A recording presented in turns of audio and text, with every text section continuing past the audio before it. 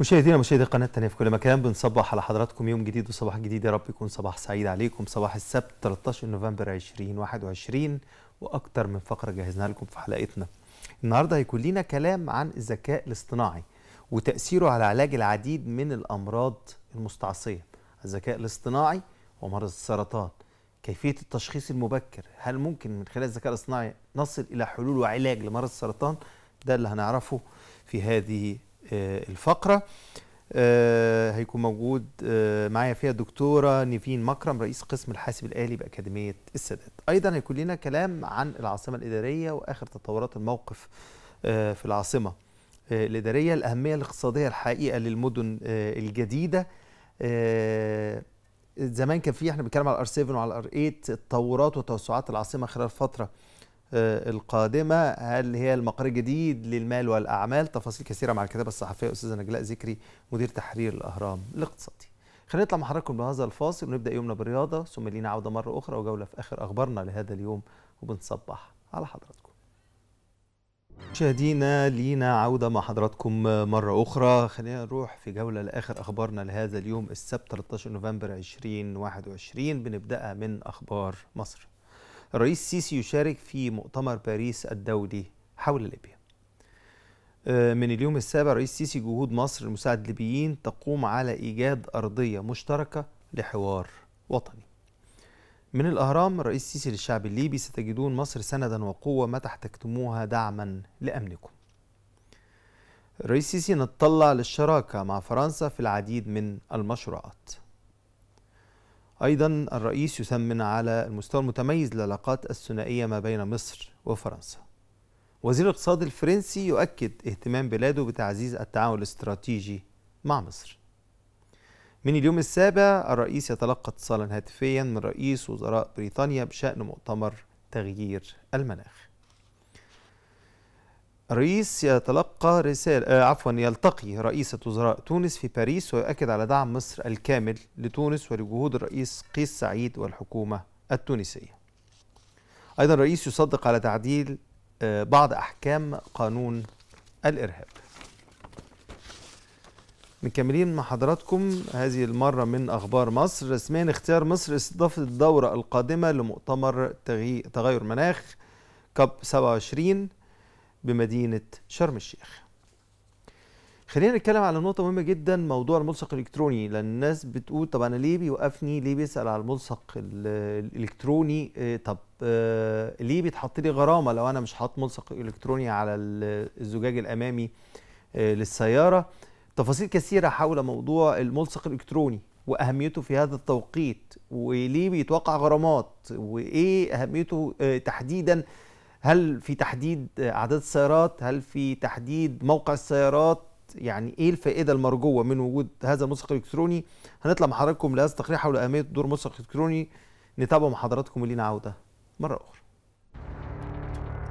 يعني زي ما تابعنا مع حضراتكم في هذا التقرير موضوع الملصق الإلكتروني أمر مهم جدا. بيحدد السيارة فين مكانها بالظبط تقدر توصل لها. نقدر لو في عطل زي ما تابعنا في هذا التقرير يتم الإصلاح الفوري. خلينا نقول إن في خطوات الحقيقة يوم بعد يوم في ضبط المنظومة المرورية. لما شفنا الإشارات الإلكترونية بدأت تشتغل وبقينا نعتمد عليها بشكل كامل بدأت الناس تلتزم تلتزم. يعني إذا كان في إشارة ب count down أو بعداد بتشتغل بشكل أوتوماتيك لو حصل مثلا أي مخالفات بيتم التصوير ويبقى في مخالفات. الناس كلها الحقيقة التزمت. فكرة التعميم في هذا الوقت أكيد هيصب في مصلحة المنظومة المرورية. طيب نكمل أخبارنا مع حضراتكم من الشروق. الحكومة انظام صرف المقررات التموينية كاملة لأصحاب بطاقات الدعم. ومن اليوم السابع محافظ الجيزة بيفتتح مقبرة المومياوات الذهبية بالواحات البحرية. أيضا خبر آخر من اليوم السابع الأمير تشارلز وقرنته في زيارة تاريخية لمصر الخميس المقبل.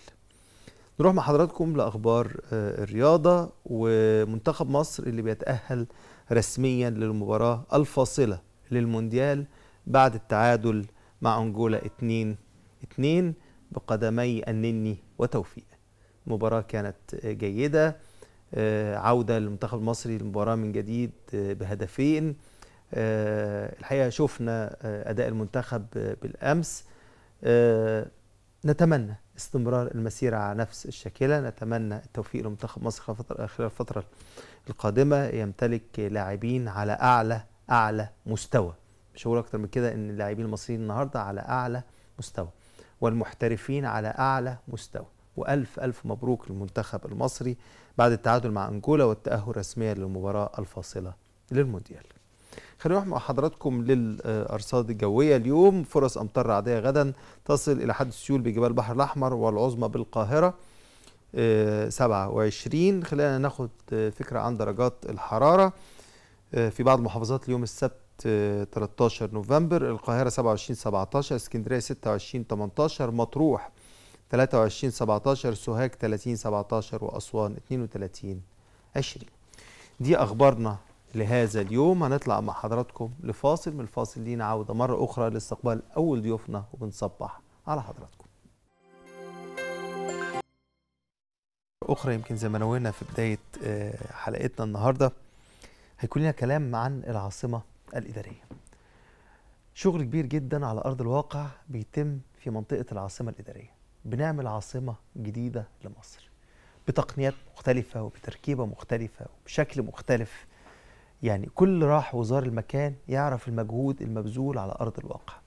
كنا بنتكلم زمان في ال R7 بقينا بنتكلم في ال R8 بقينا بنتكلم في ال R9 وتوسعات وفي كلام على إن العاصمة توصل لغاية السويس توصل لغاية شاطئ آه، البحر.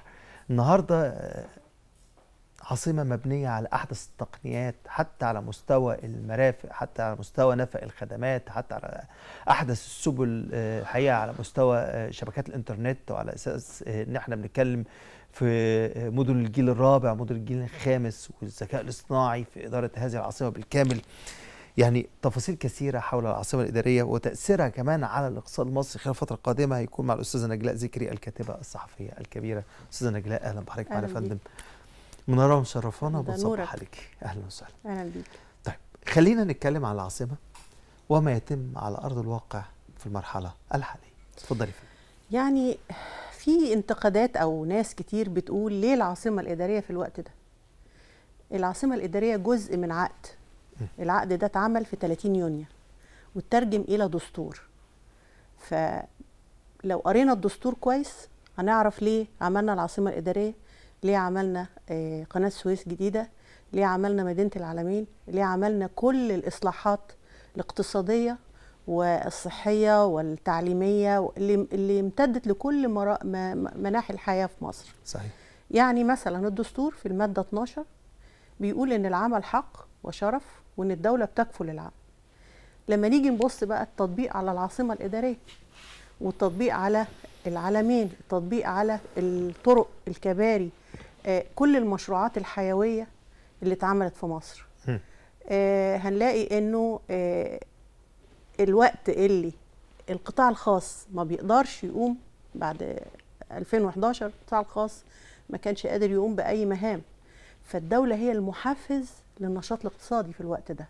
أوقات الأزمات الأوقات اللي فيها ركود أو انكماش. الدولة بتشيل. هي الدولة اللي بتشيل. صحيح. فهي المحفز. مم. بتخش تعمل بنية أساسية بتشغل قطاعات عريضة جدا من الشباب ومن الناس كلهم يعني قطاعات الأعمال كلها بتدخل القطاع الخاص تحت جناحها بيشتغل بينتج بي العجلة بتدور.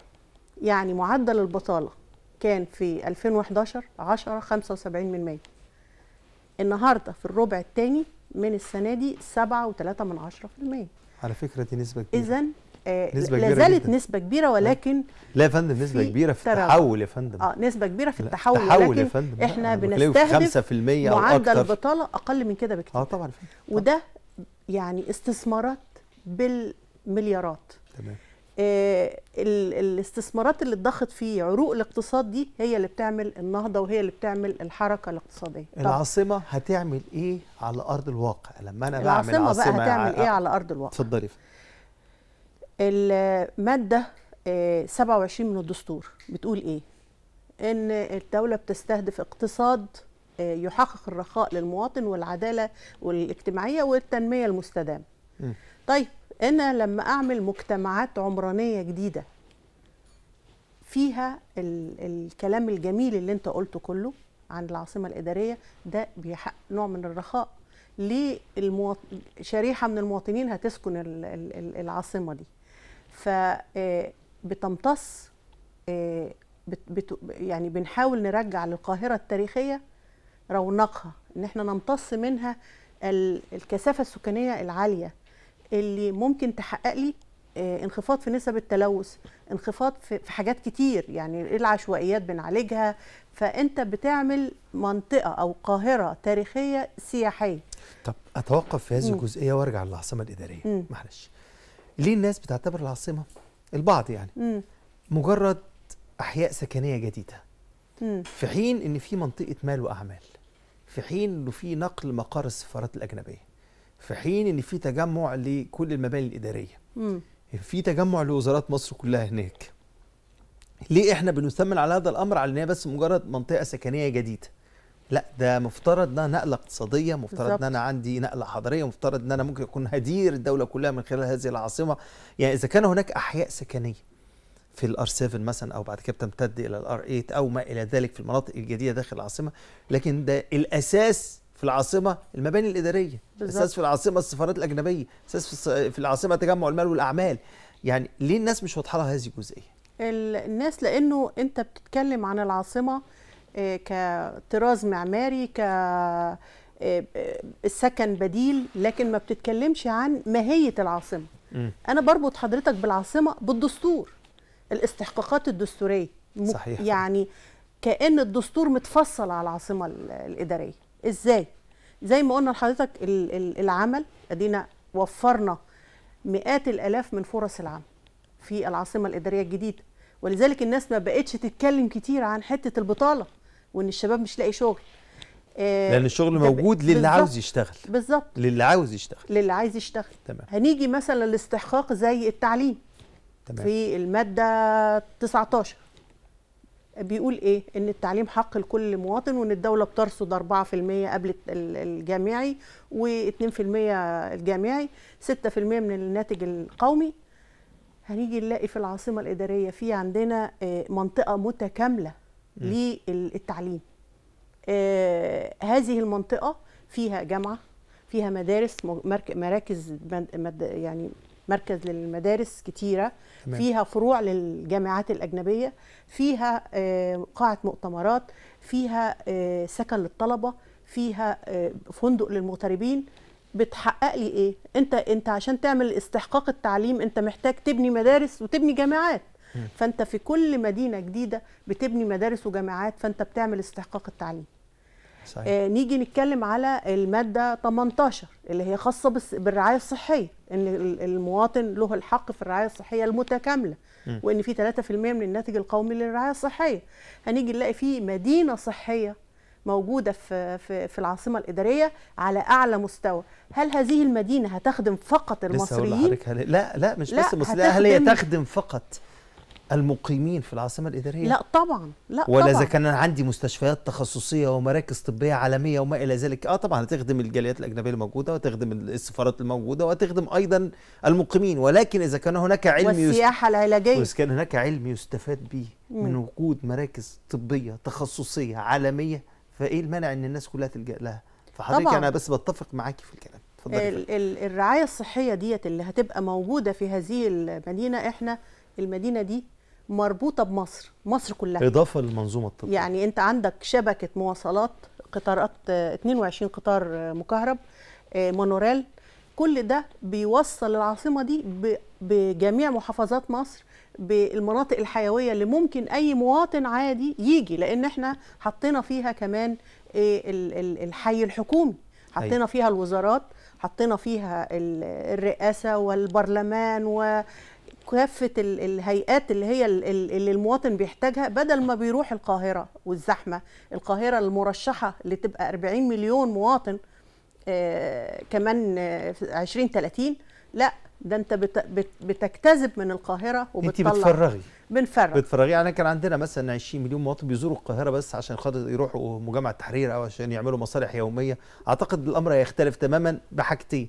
واحد تفريغ المصالح الحكوميه عشان تروح كلها العاصمة الإدارية. نمرة اتنين فكرة إن أنت بتعتمدي آه، على الإنترنت. فكرة إنك بتعتمدي بالظبط. على آه، إنك تخلصي مصالحك بالكامل آه، من غير ما تتحركي وتروحي المكان متكاملة. يعني الحدوته أصبحت متكاملة. مختلفة. اتفضلي فإحنا أدي استحقاقات. إحنا قلناها العمل ال- ال- الصحة التعليم. في استحقاقات أخرى. زي البيئة. إحنا عملنا بنعمل مدن جديدة صديقة للبيئة. هذه المدينة آه، 70% من المباني اللي فيها كلها بالطاقة الشمسية. في عندك أكبر محطة توليد كهرباء آه، بتطلع 4800 ميجا. فانت أنت عندك آه، آه، آه، أكبر حديقة دولية أكبر حديقة في العالم. بارك عالي جدا آه. هاي- أكبر من الهايد بارك ست مرات. صحيح. يعني إحنا بنغني بيها ونحب نزورها في لندن يعني. آه، دي رئه رئه لمصر آه، إحنا محرومين من المناطق الخضراء. العاصمة الإدارية بتوفر 15 متر مساحات خضراء لكل مواطن. يعني إحنا هنا مش لاقيين متر للمواطن عشان يعيش فيه في القاهرة. فأنت بتعمل إنجاز حضاري على أعلى مستوى. نخرج من العاصمة. مم. ونشوف الحقيقة تطبيقات الانتقال إلى العاصمة على العاصمة التاريخية. زي ما. حضرتك كنت بتتكلمي وأنا آسف طبعا أنا بس رحت تاني العاصمة لكن خلينا نرجع للقاهرة الفاطمية. خلينا مم. نرجع للعاصمة آه القديمة. خلينا نشوف إزاي هنقدر نغير ونطور من شكل القاهرة بعد ما بدأت تتخرجي وتفرغي الحقيقة الرحلات اليومية ال 20 مليون اللي بيجوا ويرجعوا دول. بالظبط. القاهرة هيبقى شكلها إيه؟ ما- يعني خلينا نشوف النهارده. طبعا حضرتك تحدثتي عن تحديثات تجديد متحف آه، التحرير. مم. ثم متحف الحضارة. ثم آه، يعني اعمال بنية تحتية. واعمال بنية تحتية على. أعلى مستوى شوارع اختصار لمدة طرق. الرحلات السياحية إلى الأماكن السياحية المختلفة والباقي عند حضرتك اتفضلي ال- ال- المباني التاريخية اللي ظلمت كثيرا جدا نتيجة الاعتداء الاعتداء البشري عليها الكثافة السكانية العالية العشوائيات اللي كانت منتشرة في القاهرة جنب مواقع أثرية رهيبة إحنا لو لو في آه، حجر أثري في بقاله 200 سنة في دولة بيعملوا عليه متحف. إحنا عندنا مصر متحف. مصر تعتبر متحف للتاريخ. صحيح. يعني آه، فأنا عندي ثروة مهدرة. أنا لو أنا آه، حققت بقى إن أنا بصيت في هذه المباني الأثرية وعملت ليها نوع من الصيانة عملت الطرق اللي اللي تريح ال- ال- السائح وهو بيزورها الحاجات دي تعمل لي آه، السياحة الثقافية دي هتعمل لي عائد كبير جدا كان عندنا مشكلة في مدة الرحلة السياحية مم. إنك تتحركي مثلا من آه، من المتحف في ميدان التحرير إلى مثلا المناطق الأثرية زي سقارة وميت رهينه أو ما إلى ذلك كانت الرحلة بتاخد أربع وخمس ساعات مم. عشان تقدري تتعاملي مروريا النهارده بعد التوسعات اللي, حصلت وتجديد ال- الحقيقة الطرق وبعد ما تشوف حضرتك التطويرات اللي تمت على ترعه المريوطية وترعه المنصورية وكل الطرق المؤدية لسقارة ودهشور وما إلى ذلك أعتقد الأمر اختلف تماما. حتى السائح اللي جاي عشان يقعد خمس ست ساعات وهينطلق إلى مثلا منطقة ساحلية أو هيروح مثلا شرم أو الغردقة أو ما إلى ذلك هنا قدر يستفيد برحلته داخل القاهرة وما خدتش وقت طويل منه وفي نفس الوقت قدر يكمل في مكان آخر. ده في بعد تاني كمان للطرق دي. هو يعني الرئيس عنده نظرة تكتيكية وفي نفس الوقت رجل يعتمد على المعلومات. مم. فكل مشروع بيدرسه دراسة وافية. ومعلومات حقيقية. هو لما بيقول مثلا المشروع ده لا ياخد ثلاث سنين مش أربع سنين أو خمس سنين بناء على معلومات بالدراسات فأنت لما بتهيئ الطرق أنت بتقول فرصة وبيئة للاستثمار. آه طبعا. النقل بين المحافظات آه، نقل السلع وال- والعمال نفسهم وال- والعاملين والبضائع. كل دي آه، تسهيلات تقدر إن أنت تقول إيه في no time إن أنت تقدر تحقق مكاسب ودوران لرأس المال أكتر من دورة سريعا. يعني المسألة مش مسألة إن هو بيحط فلوس في بنية أساسية يعني منظرة أو بس مجرد قضاء على الازدحام مجرد لا. قضاء على الازدحام ده الآد أهداف اقتصادية عميقة جدا مم. عميقة جدا ومهمة للغاية إن إحنا نبقى آه، مفتوحين للاستثمار. إحنا بنقول أوكي إحنا عندنا استثمارات جاهزة. يعني برضو نرجع للعاصمة الإدارية. أنا يعني عايزة أقول لك نقطة مهمة برضو استحقاق برضو دستوري. اتفضلي فندم. ال- ال- الممارسة الرياضية ممارسة الرياضة. أنت عندك في العاصمة الإدارية مدينة رياضية فيها أكبر آه، ملاعب أكبر صالة مغطاة أكبر حمامات سباحة. وأنت بتع... بتعد نفسك حاليا إن أنت بتقول يا جماعة أنا جاهز لاستضافة كأس العالم. فإذا أنت بتعمل استحقاقاتك بشكل مختلف عن اللي واجهناه. قبل كده تماما يعني صعب في الظروف الحالية والإمكانيات الحالية والبنية التحتية الحالية والاستادات الحالية والقيادة السياسية الحالية إن إحنا نسمع كلمة صفر المونديال دي تاني لا طبعا خلاص صح يا فندم؟ طبعاً. صعب جدا صعب يعني جداً بعد إن كل ما يتم على أرض الواقع صعب إنك تسمعيها تاني وأنا كمان مش مش ال- الفكرة مش إن أنت تستضيف كأس العالم هي تستضيف كأس العالم ك كحاجة إيجابية لمصر. فندم أنت بتوجهي بس ملايين مؤشر. هيجوا آه هنا بتوجهي المؤشر بس سياحة. يعني آه. لكن أقول أنا أنا أنا أنا بلدي جاهزة. أنا محضر نفسي. الدولار اللي أنت بتصرفه النهارده لو استنيت شوية هيبقى 10 دولار في المستقبل. فأنت بتعمل البنية دي النهارده بتصرف عليها صحيح بس عائداتها هتيجي في المستقبل. فإحنا قدام مشروع حضاري كبير جدا صحيح. اللي هو العاصمة الإدارية دوت زي نموذج لمصر الحديثة. وبعدين هو لم يكتفي بالعاصمة الإدارية العشوائيات حارب العشوائيات. على آخر السنة دي تقريبا إحنا هنتخلص من العشوائيات ال 22 منطقة اللي كانت قرفانة يعني. آه ال- القرى 1400 قرية بيطورها. آه ال- ال- المساكن استحقاق آخر برضه إحنا بنتكلم على ملف عشوائيات آه. بنتكلم على مبادرة حياة كريمة. لا طبعا دي مبادرات رهيبة. يعني آه مبادرة ال- عالمية النهارده يعني محط الاستحقاق اللي هو كله. آه إحنا قلنا استحقاق آه كمان معلش اتفضلي يا فندم. آه هيجي. هفتكر طب هفتكر. معلش مش مشكلة. لا بس أنا فعلا عاوز أتكلم على حياة كريمة أيضا. يعني كنت بتتكلمي على العاصمة الإدارية مم. وبتركزي على هذه العاصمة الجديدة طب خلينا نرجع لقرى مصر الأكثر احتياجا. والاهتمام الكبير اللي بيتم حاليا من خلال مبادرة حياه كريمه آه، مبادرة عظيمة جدا وحققت نتائج على أرض الواقع سريعة ملموسة. آه، يبقى شيء واحد في هذه المبادرة هو التفاعل الشعبي معاه إن الدولة مش هتقدر لوحدها تعمل كل حاجة. صحيح. فلازم إن إحنا نمد إيد العون. طالما إن أنا شايف إن في ثمار لهذا الإنفاق وعلى أرض الواقع يبقى لازم إن أنا أساعد. لازم إن أنا أشارك. فهي دي ال- النقطة اللي ناقصة في حياة كريمة إن إن إن إحنا كلنا مدعوين للمشاركة. ما نقدرش نقول إن إحنا متخلفين عن الركب أتفق مع حضرتك. ف يا ريت نكون كده وضحنا أنا بشكر شكرا جزيلا. ده حوار يعني الحقيقة مثمر جدا مع الكاتبة الصحفية الكبيرة أستاذة نجلاء ذكري اللي نورتنا وشرفتنا النهارده وأضافت لنا شكرا جزيلا لحضرتك وبنصبح عليك. وأنا بصبح عليك. شكرا يا فندم. ميرسي يا فندم. مشاهدينا خلينا نطلع معاكم لهذا الفاصل. الفاصل لينا عودة مرة أخرى لاستقبال تاني ضيوفنا لهذا اليوم وبنصبح على حضراتكم.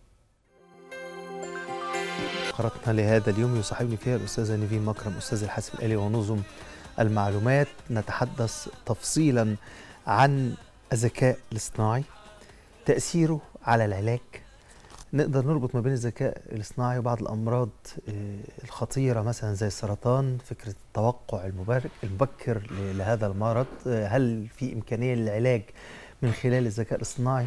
تفاصيل كثيرة بطرحها على ضيفتي اللي بتصاحبني اليوم الاستاذه الدكتوره نيفين مكرم. أهلا بحضرتك معانا فندم منورة مشرفانا بنصبح عليك. أهلا بيك. أهلا وسهلا.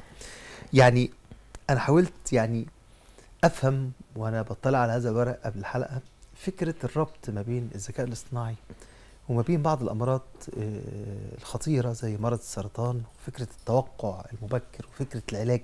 خلينا نفهم أكتر عن هذه التفاصيل من سيادتك يا فندم. اتفضلي. طيب هو بداية الذكاء الاصطناعي قبل ما أعرفه لحضرتك هو م. كان بداية الشغل بتاعته وتطبيقاته كلها كان في مجال الصحة. تمام. باعتبار إنه ده أعتقد إنه أهم حاجة. أكيد. إنه إزاي تستخدم التكنولوجيا علشان تساعدك إنه الناس تبقى صحتها أفضل. أكيد. لما ابتدينا نتكلم بعد كده عن أهداف التنميه المستدامه من 2015 وبعد كده رؤية مصر 2030 كان الهدف الثالث اللي عندنا إنه الناس تبقى يقدم ليها خدمات صحية أفضل. الكلام ده ما كانش ممكن يتم من غير حاجتين تحول رقمي وذكاء اصطناعي. تمام. الذكاء الاصطناعي ببساطة كده حضرتك بتاخده من وجهتين نظر يا إما إن أنا بحصل على بيانات كتيرة جدا جدا وبعدين بحللها بأساليب معينة إحنا بنشتغل بيها. الأساليب دي بتطلع نعم. لحضرتك زي ما تفضلت كده وقلت توقعات بتشتغل عليها بدري. حاجة يعني اسمها بتشتغلي على الداتا. بتشتغل على الداتا. ده كان يتطلب كم هائل من ال data لأنه ما. تقدرش يعني إنك أنت توصل لمؤشرات والأنماط وتكتشفها إلا إذا كان عندك كم هائل من ال data. يا إما تاخد جانب آخر حضرتك بس في جزئية ال data بس اتفضل. عشان أنا مش مستعجل. يعني خلينا في جزئية ال data. حضرتك تتحدثي عن ال data داخليا ولا data عالميا؟ يعني أنت بتتعاملي هنا مع مرض السرطان. قد يكون كويس. ال data المتوفرة لديكي نتيجة لحالات سابقة وبعدين تحلليها حضرتك بطريقة معينة عشان توصلي لنتائج داخليا وخارجيا تفيد بشكل كبير. فهنا حضرتك بتعتمدي على أي data؟ ال data المتوفرة على الإنترنت كله ولا بتتعاملي على ال data الخاصة بالدولة اللي هي data البلد؟ اتفضلي okay. ده سؤال ذكي جدا وجميل جدا. ليه بقى. لأن إحنا كنا بنشتغل على ال data عالميا في أبحاث وفي زي حاجة اسمها دراسة مقارنة وبتشوف فيها الحالات اللي عندك ما بين مصر وما بين دول أخرى. تمام. لكن إحنا دلوقتي مركزين على مصر أكتر لأنه في حاجة اسمها عوامل بيئية بتأثر سواء على الإصابة أو على العلاج. يعني في حاجة اسمها إن أنا لازم وأنا بجمع البيانات دي مش بجمع بس بيانات عن المريض.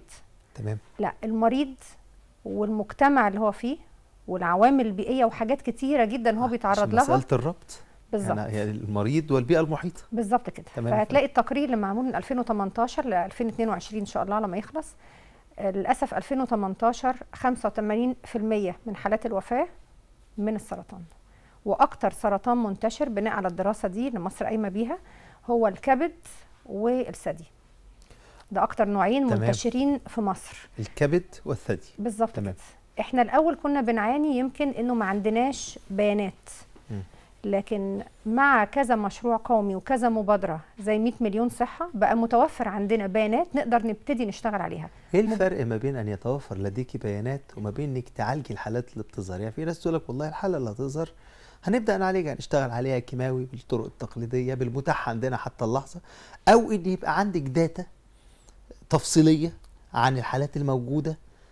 وتقدري يبقى عندك حتة ال expectation والتوقع المستقبلي وفكرة العلاج المبكر. يعني بدأنا نشوف مثلا فيما يخص تحديدا سرطان الثدي ويعني والحملات المبكرة وفكرة الكشف المبكر وإمكانية العلاج المبكر. ده أمر مهم جدا. آه طبعا. فهنا الفرق ما بين العلاج بناء على اللي يظهر أو العلاج المبكر نتيجة لتوافر المعلومة أو الداتا. لا ما هو ما ينفعش إن أنا لما يظهر عند حد مرض أبتدي أجرب فيه بروتوكول. لازم يبقى البروتوكول ده كان متجرب قبل كده خاصة إن إحنا بنتكلم عالميا وفي مصر على حاجة اسمها precision oncology يعني إيه. precision oncology ببساطة كده؟ يعني علم اورام بيبقى العلاج فارق من شخص للتاني لأن كل واحد له ظروف مختلفة عن ظروف التاني. فهو بيحاول يعرف كل حاجة عن المريض التاني وبيئته علشان يقدر يعرف هو هيديله أنهي بروتوكول علاج. وإيه توقع البروتوكول ده؟ هل إن شاء الله ده المفروض إن هو يتعالج؟ للنتائج الخاصة بالبروتوكول. توقع. بالظبط كده. هو في الآخر هيوصل لإيه؟ دي كانت حاجة مهمة جدا وما كانش ينفع تشتغل عليها من غير بيانات كتيرة جدا جدا جدا لحالات مماثلة بتبقى جت للطبيب أو جت لطبيب آخر بس متجمعة في مكان ما وبالتالي هو بيسترشد بيها وهو بيشتغل على بروتوكول العلاج وبيبقى عنده نوع من التوقع هيوصل لإيه؟ بعد علاج بفترات معينة. يعني هو مش بس بيدي العلاج ده هو عايز يشوف العلاج ده إلى أي مدى هو فعال. فكرة الإنذار المبكر أو الاكتشاف المبكر والربط ما بينه وما بين فكرة توافر ال data. حضرتك بتضفريها إزاي؟ يعني أنا عاوز أعرف يعني هل ال data بتقول بناء مثلا على أعراض ما إن ده عنده سرطان في اتجاه ما؟ ولا الداتا آه، مع البيئة المحيطة مع ظروف خاصة ممكن تؤدي إلى السرطان فلا بد إن إحنا يبقى فيه آه، زي تدخل مبكر. زي تدخل مبكر أو كشف سنوي مثلا برضو للاكتشاف المبكر على أساس إن اليوم بيفرق يعني في حتة هذا المرض اليوم بالظبط المرحلة اللي. هو بيروح بيها للطبيب بتفرق لو هو في أربع مراحل عندهم على حسب هو وصل أو المريضة وصلت في انهي مرحلة تمام. طيب إحنا بنعمل الربط ده إزاي لا حضرتك تبقى مجمع بيانات من بدري ده اللي إحنا شغالين عليه مصر شغالة على الجينوم المصري. الجينوم الجينوم ده. بيدي الصفات الوراثية. حضرتك بتلاحظ إنه آه، الناس اللي بتجيلها أمراض دي غالبا بتلاقي العيلة منتشر فيها مرض معين. فدي بتبقى صفات وراثية. دي data دي data, data بالظبط. كده. data بكم كبير جدا. بنتكلم على خريطة جينية. الفكرة كلها إنه بيبقى معروف إن الشخص ده ممكن إن يكون معرض أكتر مني ومن حضرتك بعد شر لأي حد لمرض معين. يعني هو منتشر عنده مرض وبالتالي أنا مش هستنى لغاية لما المرض ده يجيله. لا أنا ممكن إن أنا أتدخل تدخل مبكر يقي ال- الشخص ده من المرض أصلا. صحيح. هو ده الفكرة بتاعة ربط كمان حتة ال cancer genomics استخدام الجينوم في محاربة السرطان. مم. أنا مش هستنى اما يجي المريض أو المريضة وبعدين تجي لي بقى أنا ابتدي أعالجها وبقى نشوف هنعمل إيه. لا. أنا هشتغل بدري شوية هشوف هو الناس دي معرضة أو الشخص ده معرض لأنهي مرض وهبتدي أتدخل معاه بدري طب أفهم من كده إن ال- ال part بتاع حضرتك هو فكرة الاستعداد المبكر أو فكرة تجميع ال data علشان نقدر نشوف من واحدة واحدة آه. من التطبيقات لكن مين مين آه، يعني تفصيله آه، أكثر جاهزية لتقبل هذا المرض دون غيره صح بالظبط- كده يا فندم؟ بالظبط. استعداده إن هو إحنا ما بنتكلمش هنا بقى في علاج خالص. لا إحنا كده دي أول يعني مرحلة. يعني أقصد أنت برضو بالذكاء الاصطناعي هتوصل لمرحلة العلاج يا فندم؟ آه بتوصل العلاج وبتوصل لحاجة جميلة جدا إنه يبقى عندك آه كمان اكتشاف لعلاج جديد. ده اللي آه. شغالنا دلوقتي اللي هو ال discovery الاكتشاف لعلاجات جديدة من إن حضرتك مجمع data كتيرة جدا. جربت أكتر من علاج وأكتر من بروتوكول مش جديد علاج. ولكن الأكثر فاعلية بناء على تجميع آه، ال data. يعني. واكتشاف كمان أمراض اكتشاف sorry علاجات جديدة. زي؟ زي في مجال السرطان إن هو دلوقتي في أكتر من شركة بتستخدم لا لا مش قصدي آه. بتستخدم ال data دي علشان تقدر إنها تكتشف علاج جديد والعلاج ده بيجربوه مع المرضى ويرجعوا يدخلوا ال data تاني يدخلوا البيانات ويشوفوا هل كان results فعال. طبعا. بالظبط. ويديك feedback إيه اللي حصل. بناء على النتائج وال feedback اللي إحنا بندخله بيبان هل هو كان فعلا فعال على حاجات معينة ولا لأ. ف- عشان كده أنا قلت لحضرتك يمكن يعني مش هنقول علاج جديد ولكن هنقول مدى فاعليه العلاج وتطبيقاته. على أكتر من جنسية مع أنواع سرطان. مختلفة. من الاثنين. اكتشاف علاج جديد؟ وزي ما حضرتك بتقول بالظبط كده فعالية العلاج اللي موجود. يعني اعتبر إنه واخدين السايكل أو دورة الحياة بتاعه المرض من الأول. يا إما بس كان في اكتشاف لعلاج جديد خلينا يعني نحمل بادره خير وبشرة في اكتشاف أمل لعلاج جديد للناس. يعني آه الحقيقة. أنا عشان كده يعني أنا كان هناك علاج جديد هنسمع عنه النهارده من خلال حلقتنا يا ريت. يعني الحتة نعلن دي عنه. لازم يتكلم فيها طبيب. أنا دايما عشان بتكلم كده أنا قلت على لحضرتك يبقى إحنا دورنا إحنا دورنا في التجهيز صح إحنا بندي الكلام ده للأطباء تمام ولشركات الأدوية والشركات دلوقتي نشطه جدا في الشغل ده تمام. يعني أكتر من شركة خصوصا الشركات العالمية عاملة شغل كتير قوي على استخدام الذكاء الاصطناعي لأن هم عندهم في ال R&D في ال research and development اللي هو الأبحاث والتطوير إن هو بيحاول يدور على علاجات جديدة تكون فعالة أكتر ويرجع يقارنها بالقديم آه. فهو واخد ال cycle من الأول خالص الذكاء الاصطناعي واخد بداية من إن إحنا نعرف مين معرض أكتر من حد تاني. للإصابة بنوع معين من أنواع السرطانات. وبعد كده التشخيص بتاعه إنه يتم تشخيص دقيق يتعرف لأنه زي ما في حاجة اسمها false positive و false negative يعني ممكن أنا وحضرتك نعمل فحوصات معينة وتطلع نتائجها إنه ده إيجابي أو سلبي يكون الإيجابي ده غلط أو السلبي ده غلط. فبيحاول إن هو يتدخل بأكتر من طريقة عشان يجمع زي برضه بنرجع تاني data أو بيانات كتيرة ويساعد الطبيب المعالج إن هو يقدر يشخص صح لأن بيبقى في ساعات أعراض ماشية مع أمراض تانية. أيوة. فلازم يعرف يعمل الجزء ده. وبعدين يدخله على ال precision أو ال personalized oncology إن هو بيديله علاج لكل شخص على حدة. كل شخص بظروفه هو بيديله مقترح للعلاج ده. وبعدين بيمشي معاه الجزء اللي هو المتابعة follow up على مدار سنين على طويلة. فكرة اللي بتقوله كله. كله data كل ده كده. في إطار ال data أنت عندك أمراض إيه؟ هن هنقول. طب إحنا هنا في مصر ليه الثدي وليه الكبد؟ ده ليه اسبابه طب عندنا كم مريض؟ كذا. كذا مريض بياخدوا أدوية إيه؟ كذا. طب النتيجة نتيجة لكل دواء. كان إيه؟ التقدم في الحالة. كل ده بيانات ثم تحليل البيانات. وبعدين مقارنة ومطابقة مع اللي بيحصل.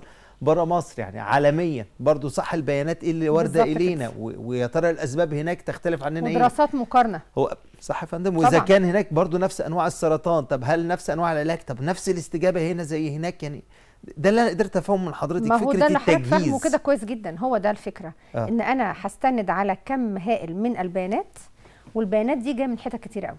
مم. يعني جاية حتى من ال comments أو الملحوظات اللي الطبيب المعالج بيكتبها.